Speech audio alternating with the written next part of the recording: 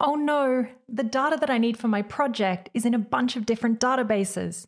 And worse still, they're all different database types. You've just found out that your next project needs data from both a MySQL and a PostgreSQL database.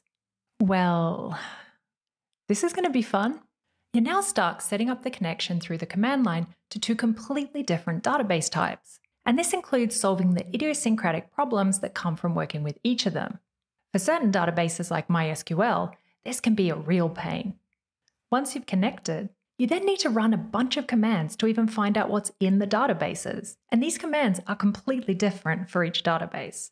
That sounds like it's going to involve a lot of Googling. And then once you get to querying the databases, you'll need to copy and paste the data from the terminal into a CSV parser to start exploring the results. Hmm. If only there was some way of cutting out all of this boilerplate. With the IDE's database tool window, we can do exactly that.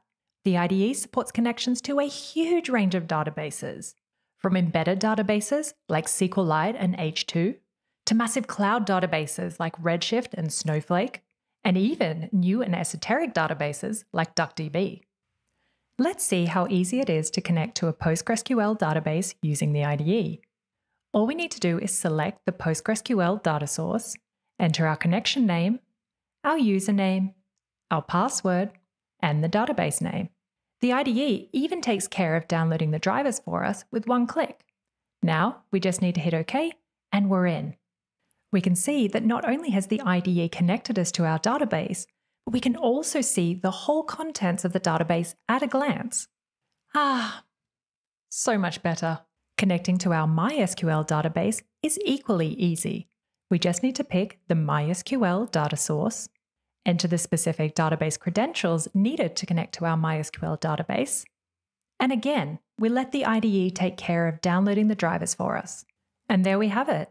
Both of our databases are now connected and their contents are ready for us to browse right there in the UI. And if we need to add any other database types to our project, we can connect in a similar way with the IDE only needing our credentials and taking care of the drivers for each one. But what about querying databases? Is that easier? I'm so glad you asked. Of course it is. We can open dedicated console windows against each of the databases where we can write our queries. You can see that the IDE really helps us out here with code completion and inspections for each database's specific SQL dialect. Dedicated code completion for each SQL dialect now that is impressive. Once we're done querying, we can check out our results in lovely interactive tables. No copying, pasting, or parsing needed. The IDE even separates these tables by database to make sure that we can keep track of where the results have come from. With the IDE, double the database types no longer means double the work.